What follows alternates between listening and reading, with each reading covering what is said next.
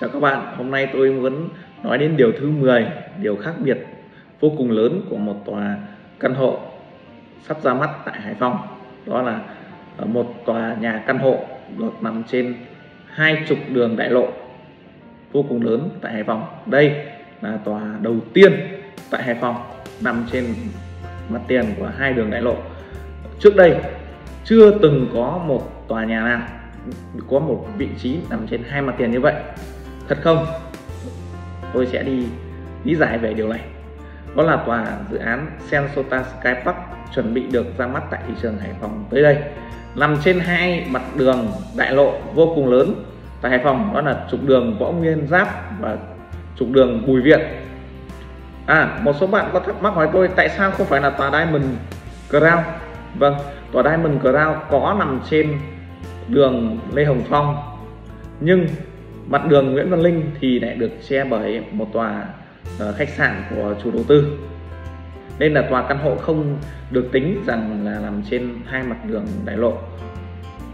Còn tòa Hoàng Huy Commerce và Hoàng Huy Commerce cũng nằm trên ngã tư hai trục đường nhưng chỉ là một mặt đường Võ Nguyên Giáp và một đường có tuyến nhỏ hơn. Không phải đường đại lộ đó là đường Thiên Nôi và đường Nguyễn Tất Tố. Thế còn tòa Mirato tòa Minato thưa quý vị cả khu đô thị dự án ở uh, Water Fund thì uh, căn hộ chung cư tòa Minato thì lại nằm phía bên trong của tòa khách sạn Lico nên sẽ không được tính là tòa uh, mặt đường hai đường đại lộ.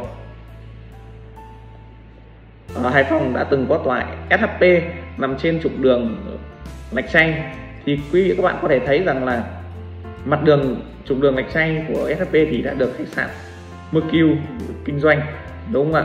Thì để uh, chia sẻ như vậy để quý vị thấy rằng với tòa nhà Sensota Sky Park nằm trên hai trục đường đại lộ lớn đó là một lợi thế vô cùng lớn dành cho các quý nhà đầu tư khi mình uh, muốn đầu tư căn hộ ở đây để phục vụ dự án để kinh doanh có thể là uh, cho thuê căn hộ.